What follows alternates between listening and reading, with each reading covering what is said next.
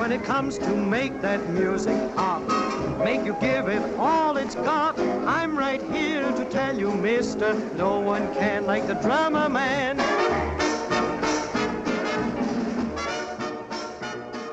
Welcome to uh, another episode of Foreign Correspondents Deeper into Hitchcock podcast.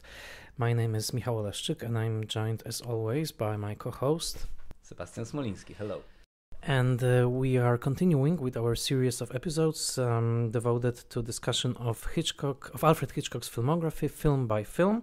This is the episode number 20, and we will be talking about a film called Young and Innocent, um, released in November 1937. We have a wonderful guest today, a special guest who will be discussing the film with us, and uh, it's Alexander Ramon. Hello, Alex. Hi there.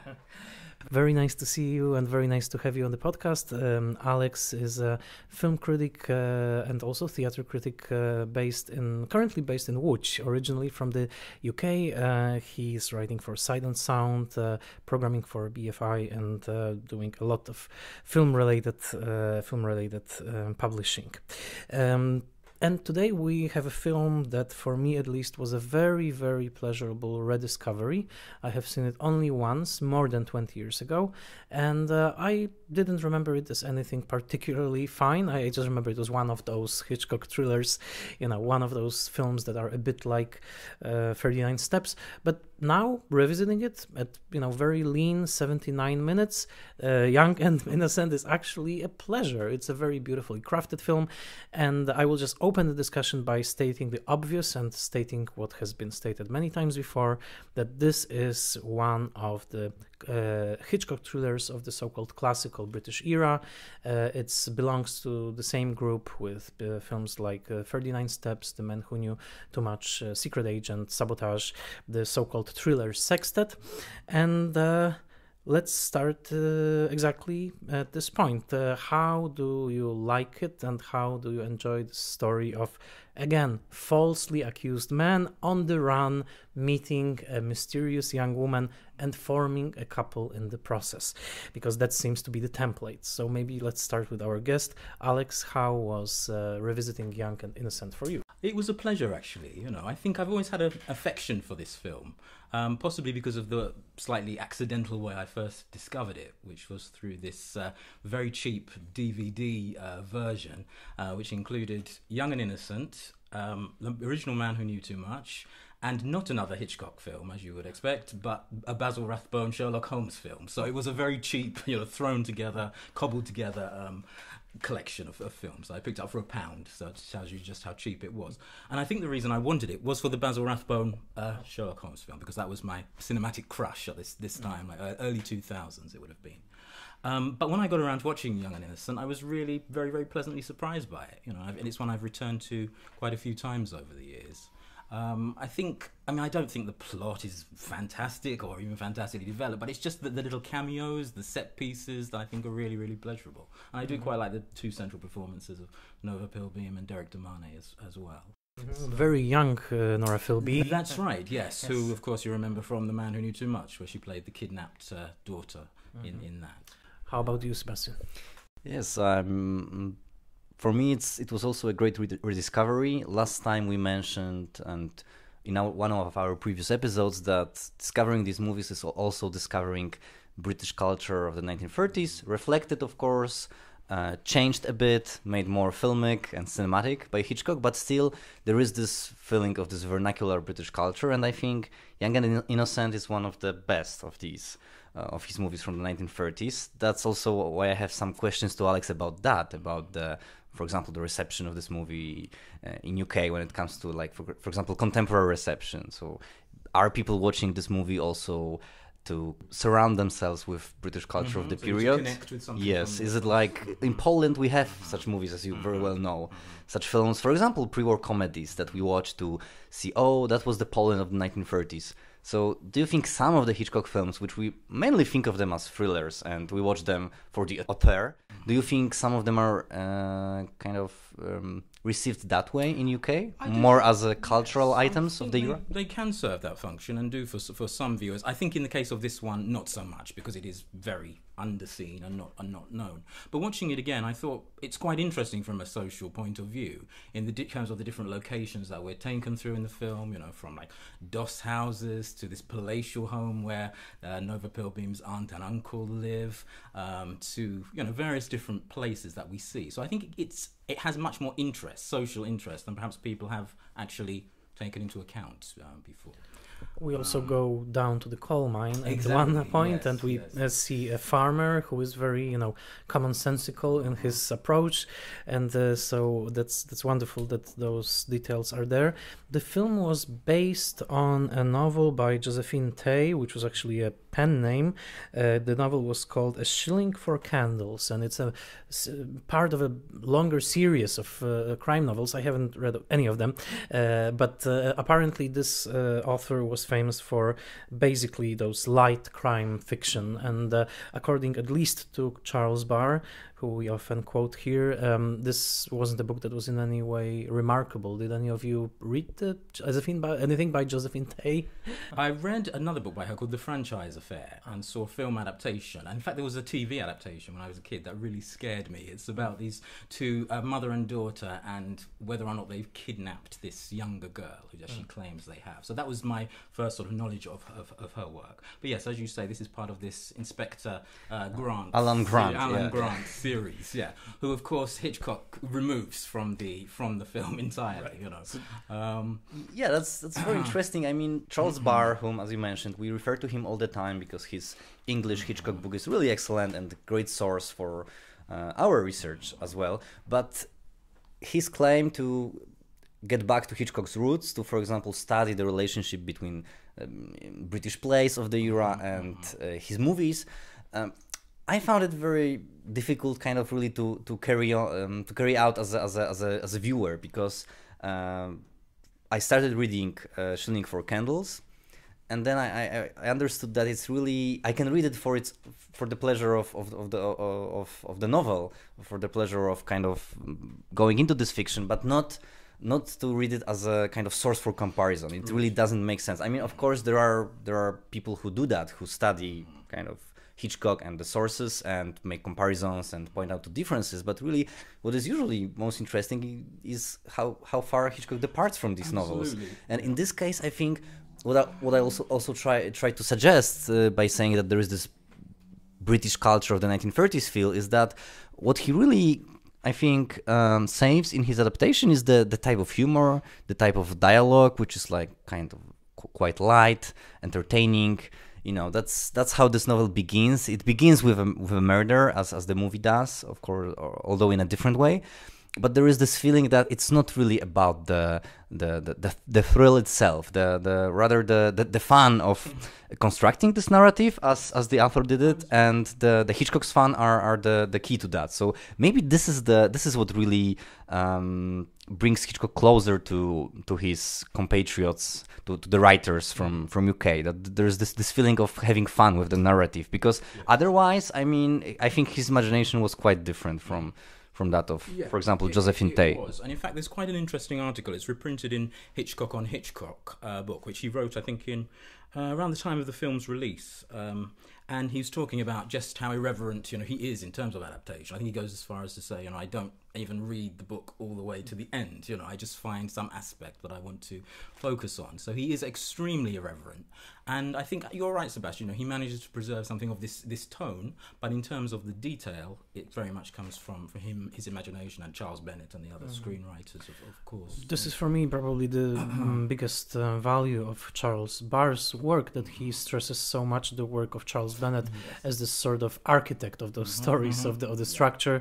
It's uh, really incredible, uh, you know, the, the way Charles Barr describes very precisely the the plot of Young and Innocent, and he shows that there is this perfect symmetry between the first half and the second half, and he credits it to Charles Bennett. Of course, Alma Reville is always in the wings as the continuity artist, uh, but um, for me, I guess uh, this film, for me, when I watched it now and after watching those, you know, several predecessors, I think that you can see Hitchcock almost as a machine at this point. He's very adept at making exactly this kind of film. It's almost like his whole career, you know, was pointed to the way in, in, in to this di- into this direction. You know that he can take almost any light crime narrative and turn out this Hitchcock product, of course, with help of by Charles Bennett and others. But this is, you know, this is it. You know, it's a signature product. And uh, when you read, ex- like even in the McGilligan. Uh, biography that you know it was a time when he was already pulled towards the states. Charles bennett actually left for the states uh, during working on this film so that's why he left the production. Uh, hitchcock was working with a new producer ted black uh, and it was very clear he was giving interviews to new york times about how english weather is making it difficult you know to work there. So you know it was very clear that he's like this master storyteller who has his formula, he can do it, he can throw in at least one spectacular shot, like the famous shot, you know, finding the man with the twitch. And uh, it's small surprise that it only will take him two more films and then he will be off to America. He's on that path, and I think you can definitely see that with, with this one. yeah. But do you think that? Do you want to say that this movie feels mechanical uh, in, in a way because of that? Thanks to the performers. I think that that Nova Pilbeam is wonderful. Uh, she's only 18 in the role. We remember her from this striking shot from Man Who Knew Too Much when, when she was being abducted, and the famous, you know, a little bit fairy tale-ish uh, shot of her terrified. Uh, and she's wonderful here. And I and this is and of course and um, uh, also the the the lead actor um, who's um, He's also Derrick Donahue. Donahue, who's wonderful, and and for me at least, and I'm an outside observer, and I want to ask Alex. For me, they are what I would call quintessentially British. This pair, I don't know exactly why. Maybe it's the blazer, maybe it's her, you know, the, the freshness of her humor, Yes. but they are totally British for me. Yes, absolutely. In fact, Hitchcock himself made this remark about Nova Pilbeam. You know, her Englishness was absolutely central. He said to, to this. You know, and he makes some comment about, oh, you know, let's hope she doesn't go to Hollywood and they don't get her, their hands on her and all of this kind of stuff. So yeah, I think it is. It to me, it feels one of the most English of, of these films. You know, almost to the point of parody at, at times. You know, um, but yeah, I, I completely concur. So do you think that it uh, it was after all impossible for her to get this uh, starring starring role at Rebecca? Because that was there were some rumors. I think some of them confirmed that Hitchcock was talking about it with. That's right. There's a lot of conflicting stories about that. I mean, I think she she claimed to uh, McGilligan that Hitchcock definitely did want her, and that her agent wasn't sure about entering into such a long contract and things like that. But other people said that Hitchcock by that time wasn't sure that she was mature enough to do the role, and he was interested in auditioning all of these other girls for it. So it's it's very difficult to say. I think with with that. But um, yeah, it's interesting to think to speculate how her career might have gone. You know, obviously she eventually dropped out of films altogether. I don't know if you know that um, a protege of Andy Warhol's kind of became obsessed with her, Duncan Hannah, and was painting her obsessively and wrote uh, and wrote to her and wanted to, you know, kind of establish this connection with her. You know, so she's become this cult, this cult figure somehow. You know. Yeah, I, I think uh, I think it's fascinating because uh, wouldn't you say that she because she didn't have any other like famous performances, she she started in, in a few interesting movies afterwards with Thorold Dickinson, for example. But you know, her beauty was kind of captured by Hitchcock in Young and Innocent, as he did with so many other actresses. And I think that's why this um, artist, Duncan Hannah, that you mentioned, that's why he, he wanted to kind of re-preserve that. I mean, to kind of allude to, to the um, beauty that was there in the 1930s, but when he was making these works, it was not there. It's another kind of British Dorian Gray-like story. Do you think there is something in that that this that Nova Pilbeam we still remember her as this 18-year-old girl from Young Yeah, and Innocent? it's exactly that. That she's kind of perfectly preserved in that way. You know, we didn't see any deteriorations. You know, I don't, think she made any public appearances at all. You know, after this. So, yeah, well, after the late, I think the late late forties was her final film, and then she was on stage. I think for the early fifties, um, and after that, you know, she's not really seen. So there's something about that. I think, isn't there? Some kind of you know unattainable kind of magic about that. You know. And uh, Derrick uh, De Marney, who is 30 years old in the film, he also has this air of, again, youth and innocence Mm-hmm. because he's not as worldly as Robert Donat. When we meet Robert Donat in 39 Steps, we can definitely sense from the, you know, take one that he he's been places you know he he, he saw things you know he he he experienced life. And this this guy no he actually faints at the shock of false accusation you know. right, this yeah. is something that you know um, robert donat wouldn't do No, no he he would be more resourceful. And uh, and I, I what i also like is this very brash opening when we get this uh, um, you know marital um, feud you know when the wife and uh, husband are bitterly arguing and it's almost like you know he, he throws you hitchcock throws you right into the middle of the scene and you don't know what you are watching.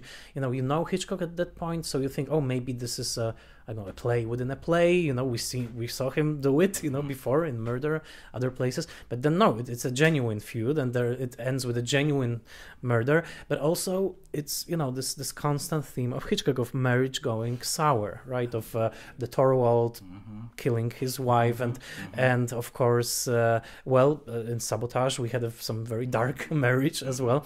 Uh, so there's and then uh, as as you know Barr also points out the film of course ends with the promise of marriage and the question is will this marriage deteriorate to the point which we saw in the very first scene right? Yes, yes, and of course there's another marriage, which is Erica's aunt and uncle as well, isn't there? With the lovely performance from uh, Basil Radford and Mary Clare, who you're going to see soon again in uh, Lady Vanishes together.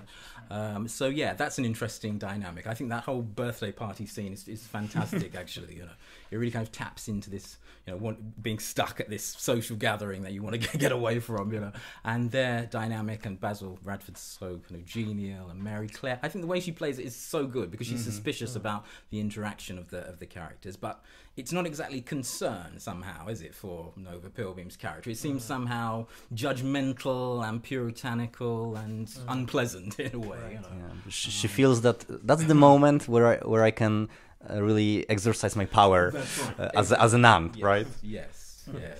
Well the aunts and hitchcock are all Yeah, powerful Yeah, a formidable collection, and this is definitely one. And something I noticed this time on the marriage theme is that small scene just before um, Derrick De Marney's character is going into the courthouse. We see a glimpse of this other trial going on, which is um, and again about marital conflict, isn't it? That uh, you know this couple, this woman's obviously having problems with her husband, and she's wanting the judge to make some kind of uh, pronouncement about him, and uh, he does, but it's not quite enough for her. You know, she wants him to do Very something so, more. So, so. yeah, so marriage and the couple, I think, are again very much interrogated throughout the film. It's a piece of dark humor, I would say. Yeah. And um, so, would you agree, like the the, the, the two of you, that um there is, of course, something about equality in this partnership in crime, we could say, between Nova Pilbeam and Derrick De Marney. But um, would you also say that there's there is some kind of, let's say, gender roles reversal, which is really interesting. You mentioned him fainting, right?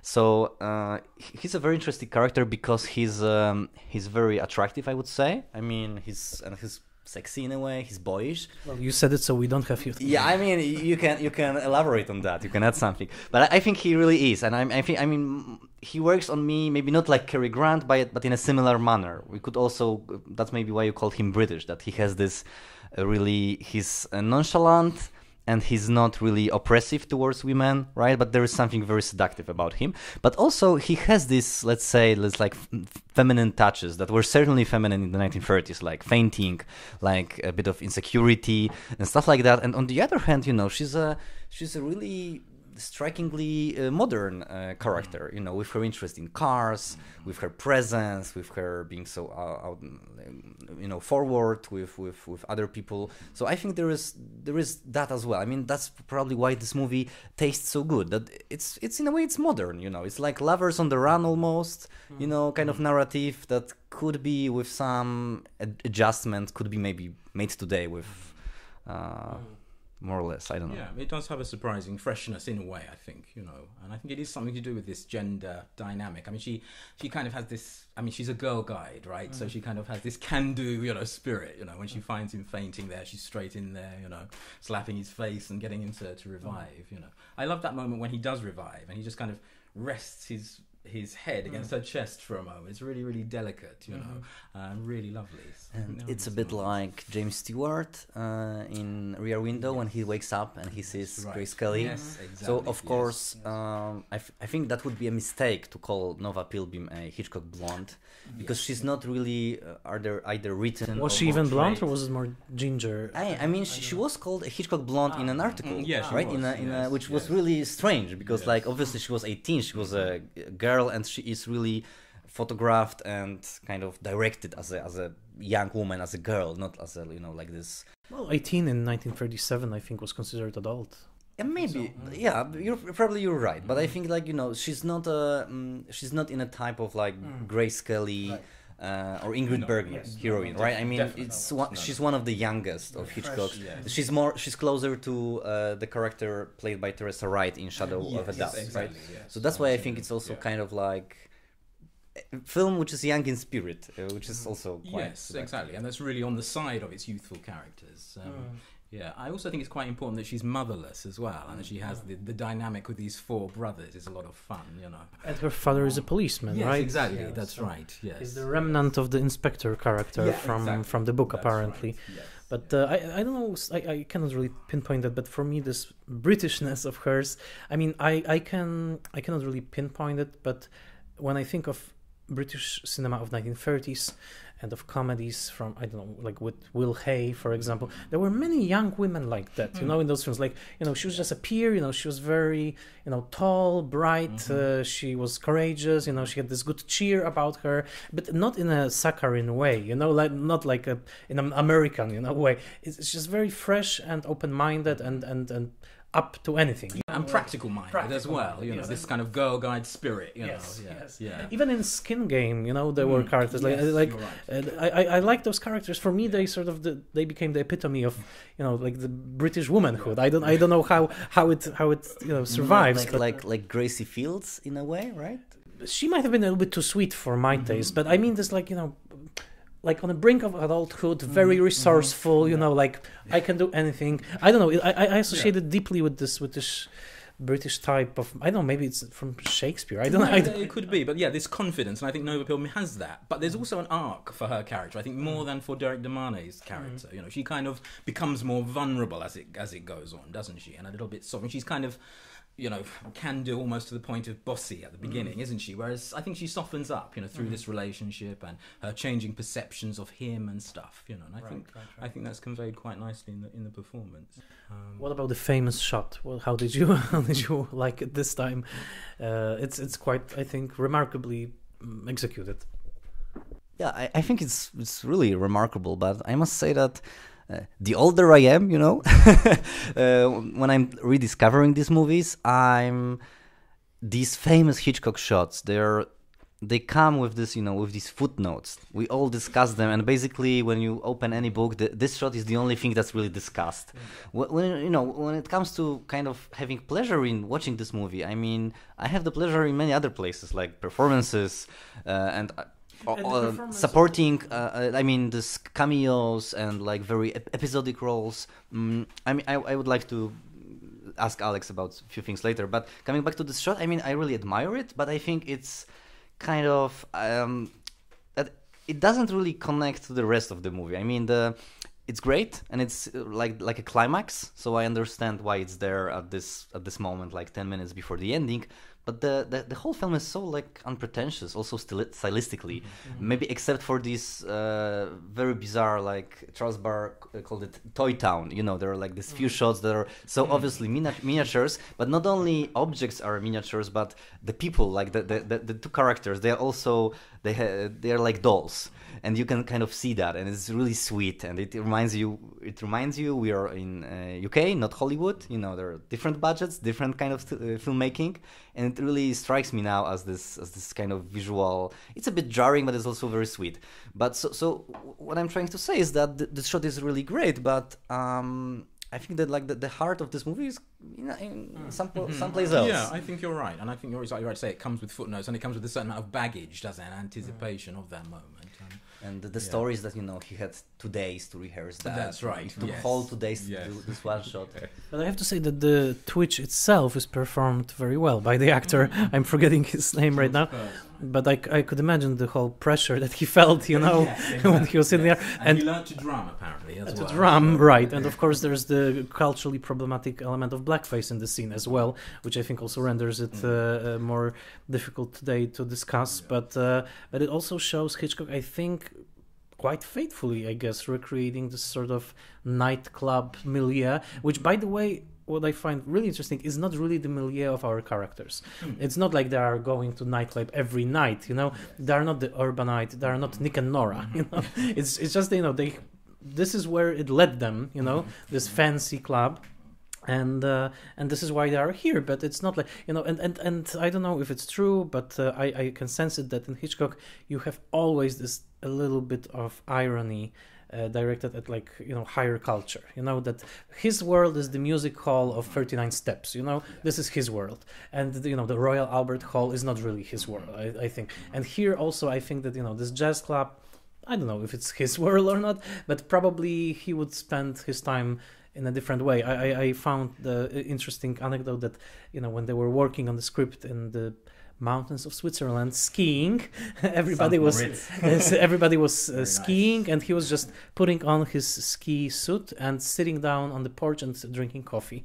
So you know, I, I like this. Yeah, yeah, yeah. And reading a book. Yes, and that's part of the function of a character we haven't discussed, which is Old Will, right, Right, played by Edward right. Edward Rigby, who gives a wonderful performance as this, you know, tramp who's brought into this story and then brought Mm-hmm. in in this part into this grand hotel scene. It reminded me a bit of Number Seventeen again, you know, this helpful hobo character, you Yes, know, who, yes, yes, who comes in. Um, Well, he will reappear in many Hitchcock films. Yeah. In Trouble with Harry, Yeah, you know, there's this, exactly. you know, sort of like a, a little bit like a Cockney character, you know.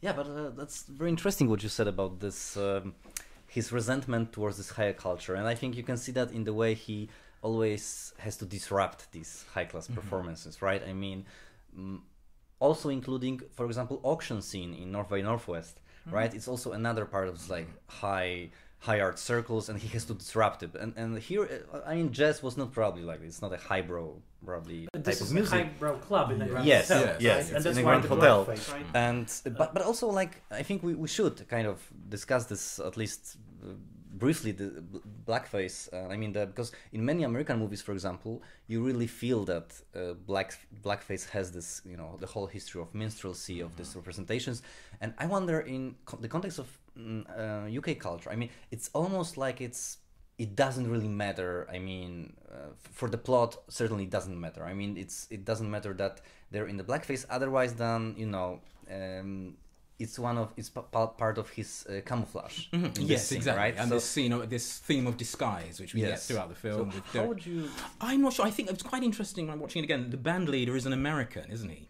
Did you notice this? So again, I think it's another this sort of gesturing towards America. Right, you know? right, right, right, right. Um, the song apparently was co-written by Sammy Lerner, this Yes. uh, drummer man song. But um, yeah, I don't know. I mean, I think I would see that sequence, and of course, it's problematic now. But the film is concerned with disguise, and you know, Derrick De Marney becomes a hobo. Old Will dresses in you know the posh clothes of the you know someone who would attend this. So I think it's very much within that that framework. You know. Right. I And a you would say it's the borrowing from U.S. culture is like the, the, the most important thing. I here, would right? say It's- so. Yeah, I think- fascination. Yeah, UK. exactly, exactly. I, would, I think so. Well, the thing uh, is also that the title was changed, right? Because it was supposed to be the girl was young, and then it, they went to Young and Innocent. The novel was, of course, called The Shilling for for Candles, and uh, well, this is importantly the last British collaboration between Hitchcock and Bennett.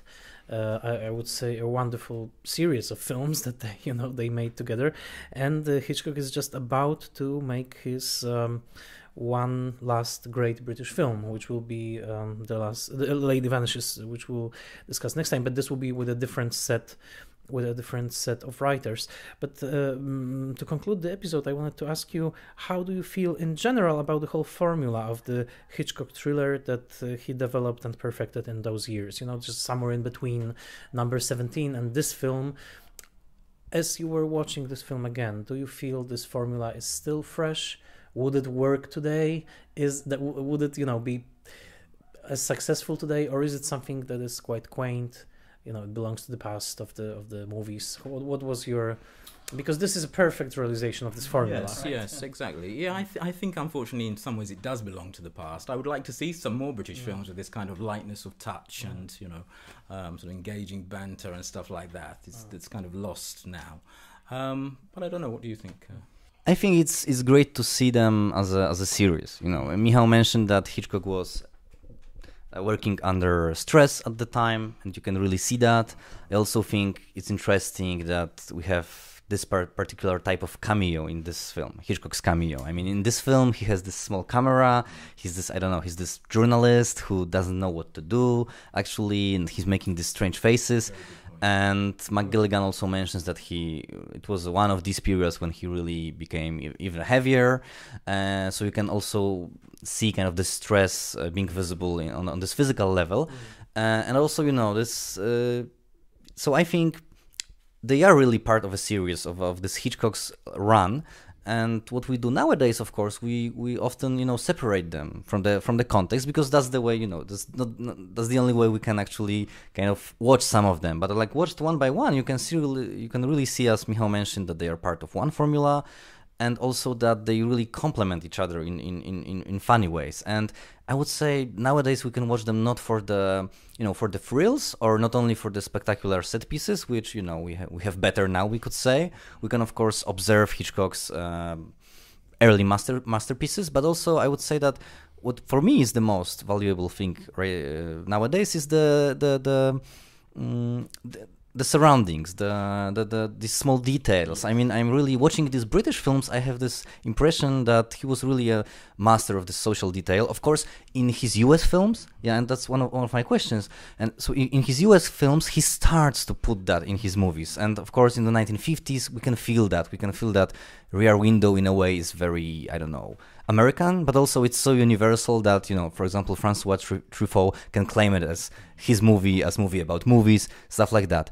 I don't think there is some level of universality in his British films, but I also think they are very, uh, like, very deeply into that culture. Yeah. That's a quality that he never, I think, managed to regain. achieve again. No, I think you're right. They are so very particular, and you just feel that they come out of this immersion in the, the world of Britishness. You know, um, something he said about the, the homeless aspect of the film and the homeless character was that he wanted to actually do research. You know, he was planning and maybe did research and to even go to a, such a shelter mm. himself. You know, but he mm. said I probably wouldn't be able to disguise myself. I look too well fed, you know, to, to be to be a homeless person. But I think that kind of detail is a particular pleasure of these mm. these films. You know, something really, Yeah. Really enjoyable about that. we we spoke about the fact that he wasn't really at home in this like posh places.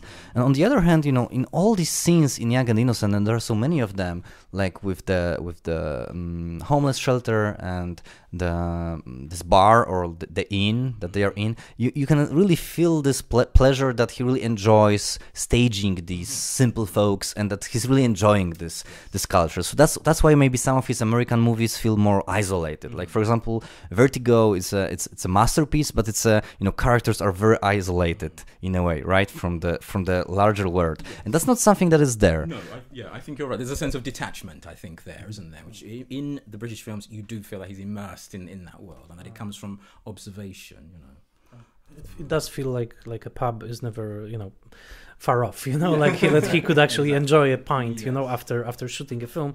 In american films he was already you know eating meals at his california mansion and that's that definitely changed his perception.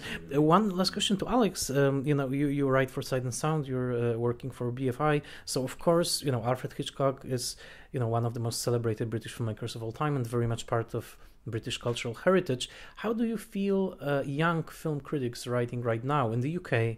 How do they feel about him? Is it still like you know the sort of you know necessary canon to know Hitchcock films to you know to be able to discuss them, or is he a master of the past, one of many who you know people simply learn about but uh, how how in other words how central he is for british film culture at the moment Yeah, I think he is still central. I mean, I mean, look at the number one film on the Sight and Sound, you know, best films of all time list, you know. For one, I think now, of course, there is the, the whole tendency to pick out problematic elements in uh, in in past work, which takes up a lot of critical space. So I think that's that's something that. but does it apply to his british films actually um, is there a single story about his british period that Not that I'm aware of. No, no, not that I'm aware of. And I'm sure, you know, for some, the blackface section here would be mm-hmm. highly problematic and would, you know. any heirs any filmmakers now british filmmakers that you feel like are heirs to i don't know peter strickland or who would you Yeah, strict. Well, I would, I would almost make a case for Guy Ritchie. In fact, you know, having just very much enjoyed The Gentlemen, you know, that does have kind of this you know, subversive humor and you know intricate plotting and um, enjoyment of Englishness, and you know, so I would make a case for him. But yeah, yeah, I mean, for the more perverse side, yeah, you could definitely look at someone like Peter Strickland. Yeah. And what about the, the, the artists obsessed with, you know, the, the filmmaking itself and images and uh, the, the, the visual uh, stuff? Of course, Peter Strickland is one of them, but like this. So, would you say there are some links between like Hitchcock and Jonathan Glazer on this deeper level, like structural? I Well, don't he know. needs to make more films because you know. Then we'll say, you know, they'll be able to know. Yeah. I don't know. I think Hitchcock is kind of unavoidable, don't you? Mm-hmm. You know, he's so deeply in the DNA of, of filmmakers. I think there are probably few who haven't been touched by him in, in some way. Um, Well, I, I sincerely hope there won't be a Netflix TV series, Young Hitchcock or something, you know, where we we Oh, submitted to you know the reinterpretation of the whole process. And mhm. well, anyhow, that's my you know grievances talking. Uh, Alex, thank you so much for being here. It was a pleasure and an honor to have you on the show.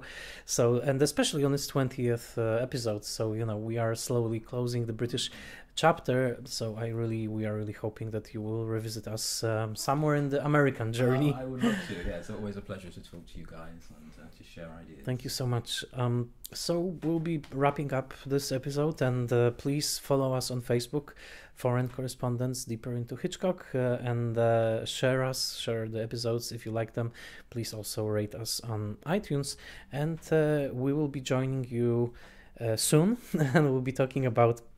Uh, the Lady Vanishes, a wonderful film, a really wonderful film. One of my favorites. I think we should just say to our listeners that um, why Alex is, you know, here today. It's because you actually chose this film, right? I did. So- yeah, I, I like an underdog. You know, I feel this film is, is not as celebrated as it could be, and I hope you know we'll encourage people to either revisit it or uh, or to watch it for the first time. And we will have a wonderful guest then as well, but we will keep uh, her a secret. Uh, thank you so much for listening. Uh, this was the 20th episode of Foreign Correspondents. Deeper into Hitchcock.